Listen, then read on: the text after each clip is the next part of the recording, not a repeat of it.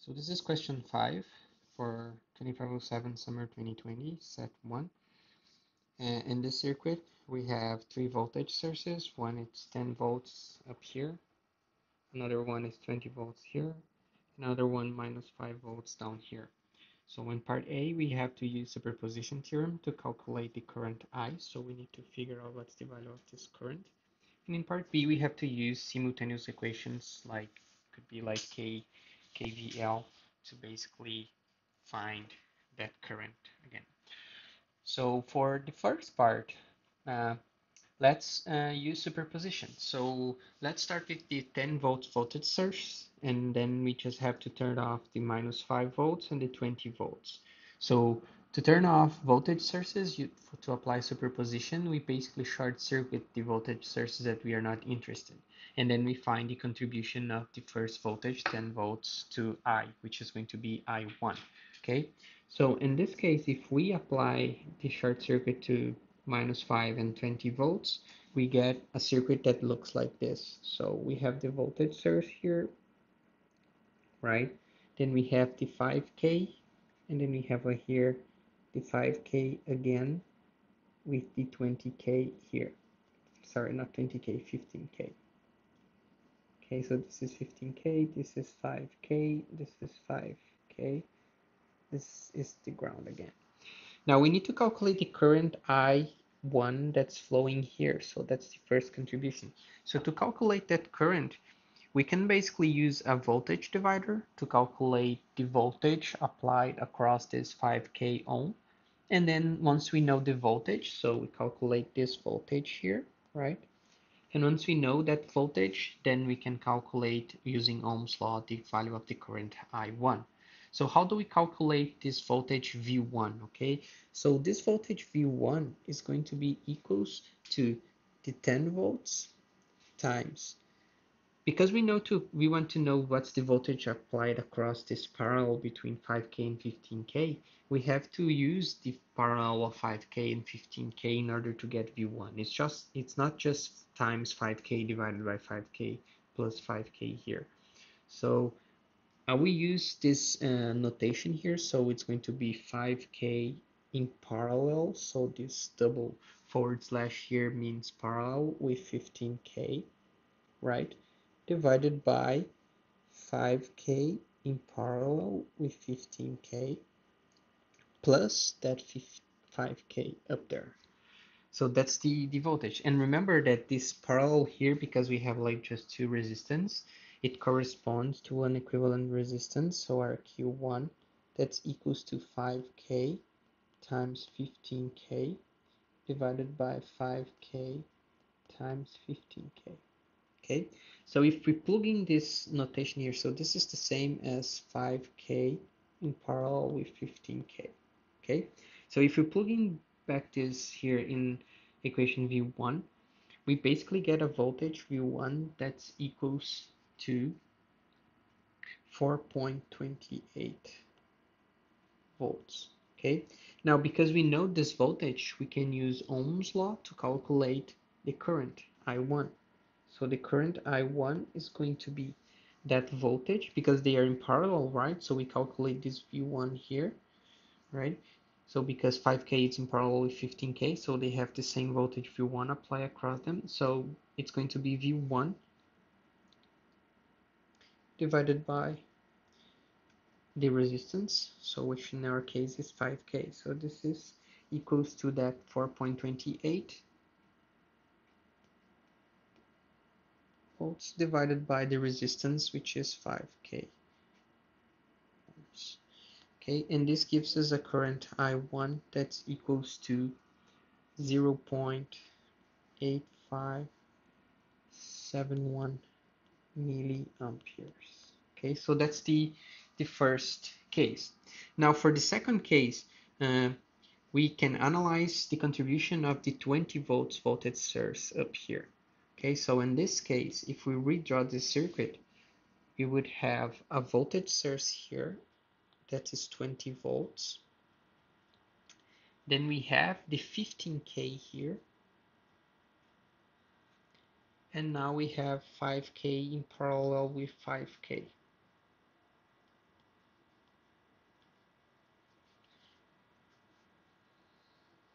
And let's say that this is the current that we want to determine. So we can again calculate the voltage here that let's call this V2, right? Here's the ground. Once we know V2, we divide that by 5K and then we get that one ampere again. So one thing that you have to be careful is that look at the direction of the current here, right? So the current is going downwards, right? So we always have to consider to calculate the, the value of the current, we always have to calculate that current flow, flowing in the same direction. So because we are short circuiting minus 5 and 20 in the first case, if if we look at the voltage, so it's 10 volts here, current always flows from the positive sign convention from the highest potential to the lowest potential. So if this is a ground in the first case, current will flow in this direction, right? So the current I1 that we calculated first agrees with the direction of this I. For the second case, we just short circuit here, right? Short circuit this one here. So the 20 volts voltage source, we have a current that flow in this direction. It splits into two currents here. One part goes there, another one goes here. So again, it agrees with the direction of I. Now, if you look at the minus 5 volts here, so if we if we ground now the 20 and the 10 here, basically the current will flow. So suppose this one here is 0 volts, right? And this one here is minus 5. So again, we will have some current that flow in this direction here, in this direction here. Then they add up at this node here, and then it would flow from this voltage, which probably is higher than minus 5 because here is 0 and here is 0 so we have like a net current here that corresponds to the third contribution that also flows in the same direction of I. But you always have to be careful with the directions of the current assigned by the problem, okay? Or even when you are solving some specific problem, you have to be careful with the direction of the currents, okay?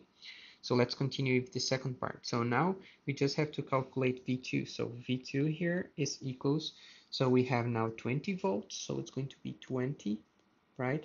Times the, the parallel between 5k and 5k. And now because I know that, I mean, we know that 5k in parallel with 5k, because they have like the same resistance, it's going to be half of that resistance because we have two resistors with the same values in parallel. So half of that is going to be 2k. So you can verify that once you on your on your solution. So if you calculate 5k times 5k divided by 5k plus 5k, that's going to give you the 2.5 sorry not 2 2.5 uh, k here. So 2.5 k. And then we just add those 2.5 k plus the 15k that we have up here right?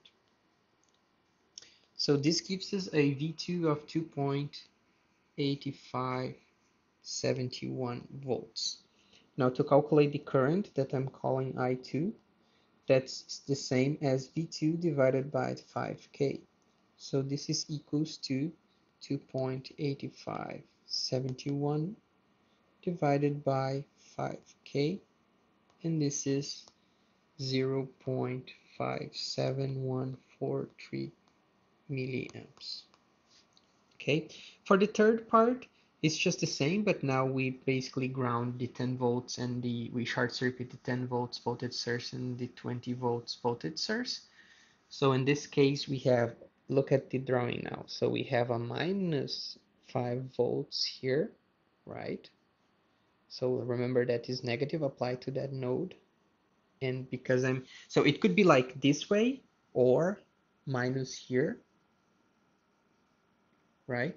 But then I have to reverse the polarity of the voltage source here, okay? But I like to do the other way because, so let me go back. I like to do the other way because then we just have to, let me go down there. We just have to, sorry.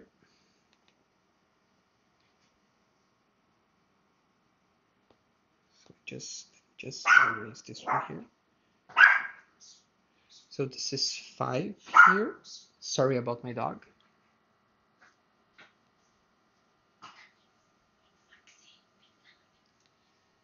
so it's 5 volts here and then we are just changing the polarity so minus and plus then we have the 5k now here right because it's connected to this node here and then we have now in parallel here 5k and 15k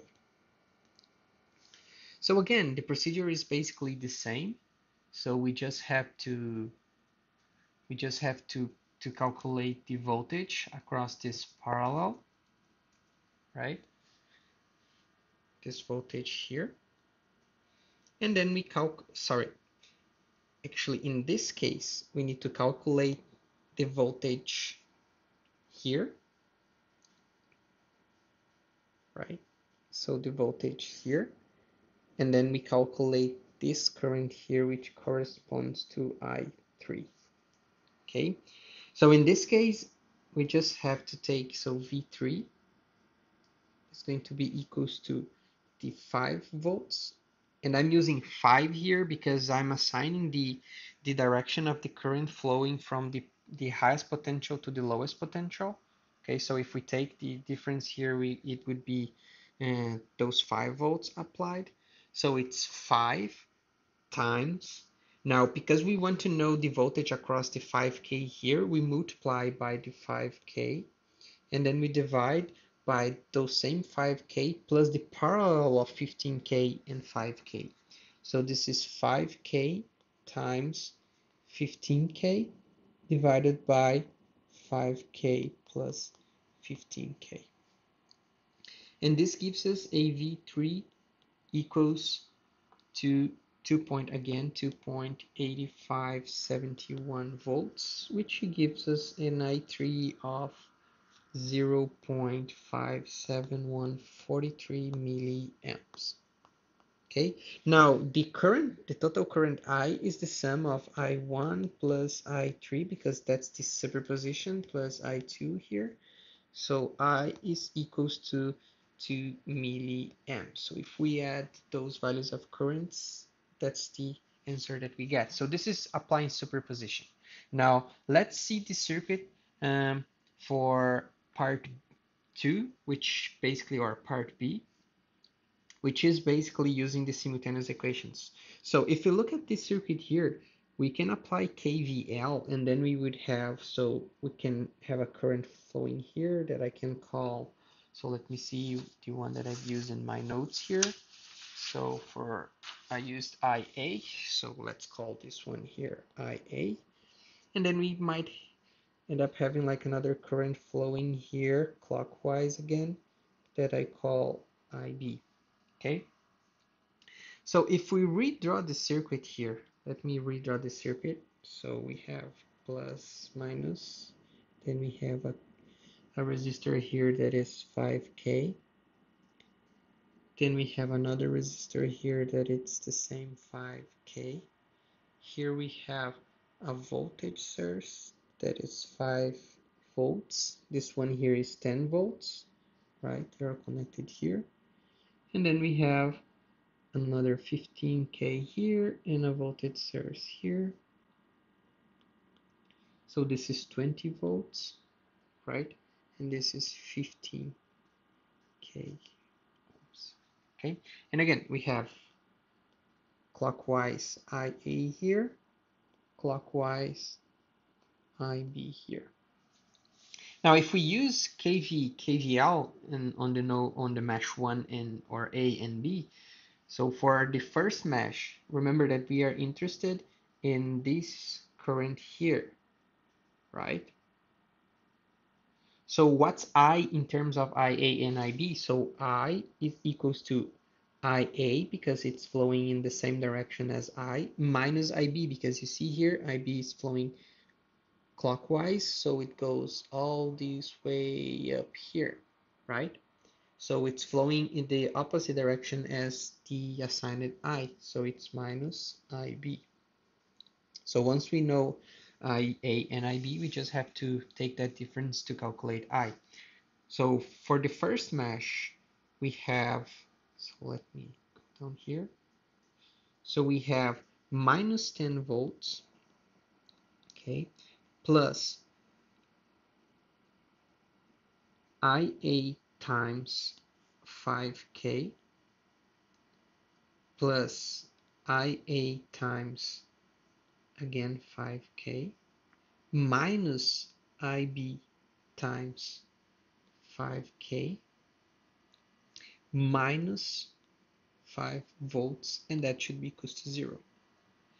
For the second mesh we have plus 5 volts plus IB times 5K minus IA times 5K plus IB times 15K plus 20 volts and that should be equals to zero. Now, if we isolate the terms IA and IB, we can rewrite this set of equations as a matrix form, okay? So we can write this way here. So IA, IB equals to some values here, okay? So for the first row, it corresponds to the first equation. So we have for IA, we have 5k multiplying here, 5k multiplying here, and that's it, right? So it's just 10k for the first element here. For IB, we only have minus 5k here, right? So it's minus 5k here. Now this minus 10 here, it goes to the right hand side here, right? so becomes positive so it's 10 volts and so let me just it's minus 10 there for the 10 volts voltage and minus 5 here so it becomes 15 volts along with this 5 volts there for the second equation we have minus 5k here for IA so that's it for IA and we have 5k here for IB 15k here so it's 20k for IB. And then this plus 5 volts plus this 20 volts goes to the right hand side as minus 25 volts. So if we solve this equation, this system of equations here, we basically find that IA is equals to 1 milliampere and that IB is equals to minus 1 milliampere okay and then remember that the current I is equals to IA minus IB right? So this is the same as 1 milliampere minus minus 1 milliampere. And that's the same 2 milliampere that we calculated using this superposition okay? So that's it for this problem